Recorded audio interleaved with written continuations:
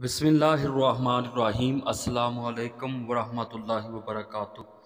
Nazi ग्रामी करोड़ों हनफियों के पेशवा, जिन्हें इमाम आज़म अबू हनीफ़ा रहमतुल्लाह कहा जाता है, आप रहमतुल्लाह का नाम नुमान और कुनीत अबू हनीफ़ा है। आप रहमतुल्लाह सत्तर या अस्सी हिजरी को कोफ़ा यानी इराक़ में पैदा हुए। आपने इब्तदा में कुरान पाक हिफ्ज़ किया, फिर चार हज़ार उलामा व मुहदसिन से इल्म दीन हासिल किया। आप रहमतुल्लाह ने सहाबा की एक जमात से मुलाकात का शर्फ हासिल किया। ख़तीब बगदादी रहमतुल्लाह लिखते हैं कि एक दफ़ा आपके वालद गिरामी जब हज़रत अली रज़ी अल्लाह तहों की बारगाह में हाज़िर हुए तो आप उस वक़्त कम सिनी की उम्र में थे। हज़रत अली करमल्ला करीम ने आपके लिए और औलाद के लिए बरकत की दुआ फरमाई। तो नाजिक कराम, इमाम जलालुद्दीन स्यूती रहमत लिखते हैं कि नबी करीम अलैहि वसल्लम ने इरशाद फरमाया कि अगर दीन का इलम मुकाम सुरैया तक पहुँच भी जाए तो फ़ारस के नौजवानों में एक नौजवान उसे हासिल कर लेगा। इमाम स्यूती रहमत लिखते हैं कि इससे मुराद इमाम आज़म अबू हनीफ़ा हैं। आप रहमत के इलम में कोई भी सानी नहीं था। आप रहमत खुद फरमाते हैं कि एक औरत ने मुझे धोखा दिया, दूसरी ने मुझे ज़ाहिर बना दिया और तीसरी ने मुझे फ़िकिया बना दिया। आप रहमतुल्लाह फरमाते हैं कि मेरे पास एक औरत आई जिसने मुझसे हैज़ो नफास के मतलब सवाल किया, लेकिन मैंने ला इल्मी का इजहार किया। वो औरत कहने लगी कि, ए अबू हनीफ़ा, तुम इमाम हमाद के मदरसे में दाखिल हो जाओ, चनाचे मैं इमाम हमाद रहमत के पास इल्म दीन हासिल करने के लिए चला गया। फिर आप रहमतुल्लाह फरमाते हैं कि एक दफ़ा एक लड़की को मैंने कुएँ से पानी भरते हुए देखा। मैंने उससे कहा कि ज़रा संभल कर चलना ताकि तुम्हारा पाँव कहीं फिसल ना जाए, क्योंकि बारिश अभी थमी है, रस्ते में कीचड़ है, कहीं गिर ना जाना। वो कहने लगी कि, ए अबू हनीफ़ा, अगर मैं गिर भी गई तो कोई हर्ज नहीं है, अगर आप गिर गए तो सारी कौम भी आपके पीछे गिर जाएगी। आप रहमतुल्लाह फरमाते हैं कि वो औरत मेरे लिए फ़रिश्ता साबित हुई। मैंने उसके बाद हर मामला में सोच समझ कर कदम उठाया।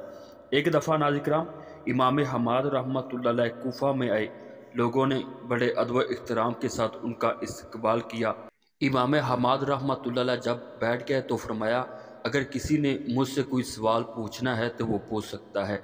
इमाम आज़म अबू हनीफ़ा भी उस मजलिस में तशरीफ़ फरमा थे। आप उठे और अर्ज़ किया कि ए इमाम हमाद, वो चूंटी जिसने हज़रत सुलेमान सलाम से मुलाकात की थी, क्या वो चूंटी नर थी या मादा थी?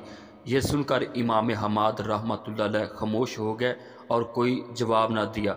थोड़ी देर बाद इमाम हमाद रहमत ने खुद फरमाया कि ए इमाम आज़म अबू हनीफ़ा, तुम्हारे पास इसका क्या जवाब है? इमाम आज़म अबू हनीफ़ा रहमत फरमाने लगी कि, वो चूंटी जिसने हज़रत सुलेमान सलाम से मुलाकात की थी, वो चूंटी मुन्नस थी।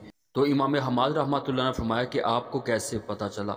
इमाम आज़म ने जवाब दिया कि कुरान पाक में उसके लिए लफ्ज़ नामलातुन का सिगा इस्तेमाल हुआ है और नामलातुन मोनस का सिगा है।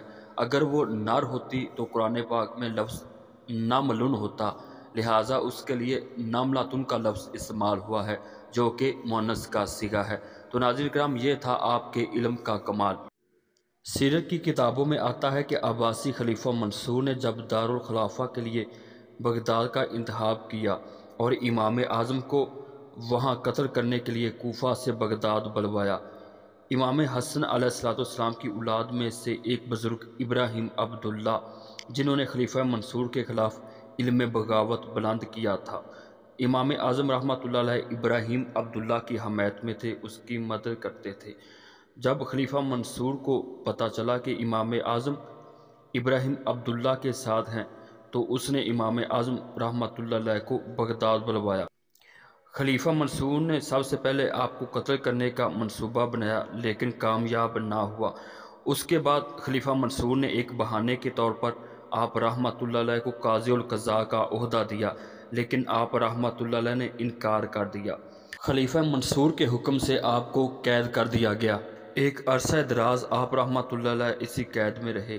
इसी दौरान आप रहमत ने दरस तदरीस जारी रखी हती कि इमाम मोहम्मद रहमत भी कैद में ही आपसे पढ़े इसी असना में एक दिन आपको बेखबरी के आलम जहर दे दिया गया।